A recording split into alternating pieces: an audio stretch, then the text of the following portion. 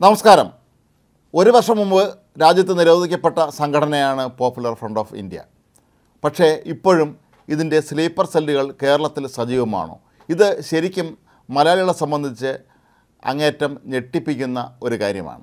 ഇതിന്റെ ഭാഗമായിട്ടാണ് ഇതിന്റെ പരിശോധനകളുടെ ഭാഗമായിട്ടാണ് ഇന്ന് കേരളത്തിലെ പതിനൊന്നിടങ്ങളിൽ ഇ ഡി പരിശോധന നടത്തുന്നത്. ഇതിൽ എട്ട് സ്ഥലങ്ങൾ മലപ്പുറം ജില്ലയിൽപ്പെട്ടതാണ്. ബാക്കി എറണാകുളം തൃശ്ശൂർ വയനാട് ജില്ലകളിലാണ് മറ്റ് റെയ്ഡുകൾ നടക്കുന്നത്. ഇ ഡിയുടെ പരിശോധനയാകുമ്പോൾ നമുക്ക് മനസ്സിലാക്കാൻ കഴിയുന്നത് ഈ വൻതോതിൽ ഹവാല പണം വീണ്ടും ഇന്ത്യയിലേക്ക് അല്ലെങ്കിൽ കേരളത്തിലേക്ക് ഒഴുകുന്നു എന്ന് തന്നെയാണ്. ഈ പോപ്പുലർ ഫ്രണ്ടിന്റെ പല അണികൾക്കും ഇപ്പോഴും പണം ലഭിക്കുന്നുണ്ടെന്നും ഇവർ ഇത് ദേശവിരുദ്ധ പ്രവർത്തനങ്ങൾക്കായി ഉപയോഗിക്കുന്നുണ്ട് എന്നുള്ളതിനെ സംബന്ധിച്ചുള്ള വ്യക്തമായ വിവരങ്ങളുടെ അല്ലെങ്കിൽ തെളിവുകളുടെ അടിസ്ഥാനത്തിൽ തന്നെയാണ് ഇ ഡി റെയ്ഡ് നടത്തുന്നത്.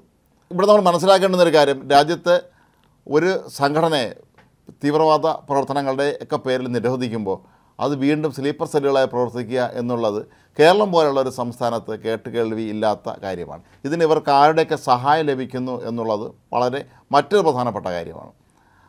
കേരളത്തിൽ നമുക്കറിയാം പോപ്പുലർ ഫ്രണ്ട് നിരോധിക്കുന്നതുമായി ബന്ധപ്പെട്ട് അന്ന് കേരളത്തിൽ നടന്ന റെയ്ഡ് അതിശക്തമായ രീതിയിൽ നടത്തിയ റെയ്ഡിൽ നിരവധി നേതാക്കന്മാർ പിടിക്കപ്പെടുകയും അവർ ഇപ്പോഴും ഇരുമ്പഴിക്കുള്ളിലാണ്.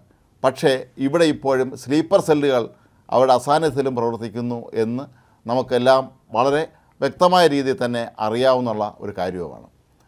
കേരള പോലീസിലെ ഒരു വിഭാഗ ഉദ്യോഗസ്ഥന്മാർ ഇവർക്ക് കൂട്ടു നിൽക്കുന്നതായും പരാതി ഉയർന്നിരുന്നു. ഈ കഴിഞ്ഞ ഈയിടെയും കേരള പോലീസിലെ കോട്ടയം ജില്ലയിലുള്ള ഒരു സബ് ഇൻസ്പെക്ടറെ ഇവർക്ക് ഇത്തരം തീവ്രവാദ സംഘടനകൾക്ക് പോപ്പുലർ ഫ്രണ്ട് ഉൾപ്പെടെയുള്ള സംഘടനകൾക്ക് വിവരങ്ങൾ ചോർത്തി നൽകിയതിന്റെ പേരിൽ അയാളെ സസ്പെൻഡ് ചെയ്തിട്ടുണ്ടായിരുന്നു. നേരത്തെയും പല ഉദ്യോഗസ്ഥന്മാരുടെയും പേരിൽ ഇത്തരത്തിലുള്ള നടപടികൾ എടുത്തിട്ടുണ്ട്. കേരളത്തിലെ ആർ എസ് എസ് നേതാക്കളുടെ എല്ലാ വിശദാംശങ്ങളും അവരുടെ വ്യക്തിപരമായ കാര്യങ്ങൾ അവരുടെ കുടുംബത്തിൽ ആരൊക്കെ ഉണ്ട് തുടങ്ങിയ എല്ലാ കാര്യങ്ങളും ഇത്തരത്തിലുള്ള പോപ്പുലർ ഫ്രണ്ട് പോലുള്ള സംഘടനകൾക്ക് ചോർത്തി കൊടുത്ത മറ്റൊരു പോലീസ് ഉദ്യോഗസ്ഥനെയും നേരത്തെ സർവീസിൽ നിന്ന് പിരിച്ചുവിട്ടിട്ടുണ്ട്. അപ്പോൾ ഇതൊക്കെ തന്നെ മനസ്സിലാക്കുന്നത് ഇവിടെ കേരളത്തിലെ പോലീസിൽ തന്നെ ഒരു വിഭാഗം ഇവരെ സഹായിക്കുന്നുണ്ട് എന്നുള്ളത് തന്നെയാണ്. ഇത് തന്നെയാണ് നമ്മെ ഏറെ അമ്പരപ്പിക്കുന്ന ഒരു കാര്യവും. പച്ച വെളിച്ചമെന്നും മറ്റും അറിയപ്പെടുന്ന ഗ്രൂപ്പുകൾ. ഈ ഇത്തരം സംഘടനകളെ സഹായിക്കാൻ പോലീസിലും പ്രവർത്തിക്കുന്നുണ്ട് എന്നുള്ളത് കേരളം പോലെയുള്ള വളരെ പ്രബുദ്ധമായ ഒരു സംസ്ഥാനത്ത് ഏറ്റവും ഉന്നത വിദ്യാഭ്യാസവും മറ്റു കാര്യങ്ങളൊക്കെ ഉള്ള ഒരു സംസ്ഥാനത്ത് ഇത്തരത്തിലുള്ള തീവ്രവാദ സംഘടനകൾ രാജ്യം നിരോധിച്ച തീവ്ര- തീവ്രവാദ സംഘടനകൾ പ്രവർത്തിക്കുന്നു എന്നുള്ളത് വളരെ അത്ഭുതകരമാണ്. അത് കേരള പോലീസിനെ സംബന്ധിച്ച് അങ്ങേറ്റം അപമാനകരമാണ്. ഇവരുടെ സാമ്പത്തിക ഇടപാടുകൾ ഈ ഹവാല സാമ്പത്തിക ഇടപാടുകളൊക്കെ തന്നെ നടക്കുന്നതുമായി ബന്ധപ്പെട്ട് കൃത്യമായ വിവരങ്ങൾ ഇ ഡിക്ക് ലഭിച്ചതിന്റെ കൂടി അടിസ്ഥാനത്തിലാണ് ഈ റെയ്ഡ് നടക്കുന്നത്. നേരത്തെ എൻ ഐ എ കേരളത്തിലെ പല പോപ്പുലർ ഫ്രണ്ട് നേതാക്കളിലും പെട്ട ഇപ്പോൾ സ്ലീപ്പർ സെല്ലുകളായി പ്രവർത്തിക്കുന്ന പലരെയും ഇതിനോടകം തന്നെ പിടികൂടിയിട്ടുണ്ടായിരുന്നു. ഒരുപക്ഷെ അവരിൽ നിന്ന് ലഭിച്ച വിവരങ്ങളുടെ കൂടി അടിസ്ഥാനത്തിലായിരിക്കാം ഇ ഡി ഈ ഇത്തരത്തിലുള്ള റെയ്ഡുകൾ നടത്തുന്നത്. ഇവിടെ നിന്ന് ഒരുപാട് പ്രമുഖരായ നേതാക്കളുടെ വീടുകളിൽ റെയ്ഡ് നടക്കുന്നുണ്ട്. ഒപ്പം ഈ സ്ലീപ്പർ സെല്ലുകളായി പ്രവർത്തിക്കുന്ന അണികളുടെയും ഒക്കെ തന്നെ വീടുകളിൽ റെയ്ഡ് നടക്കുന്നുണ്ട്. ഒരു വർഷം മുമ്പ് എൻ ഐ എ കസ്റ്റഡിയിലെടുത്ത പേപ്പർ ഫണ്ടിന്റെ നേതാക്കളിൽ നിന്നും ഒരുപക്ഷെ കൂടുതൽ വിശദാംശങ്ങളും അവർക്ക് അവിടെ ലഭിച്ചിരുന്നിരിക്കാം.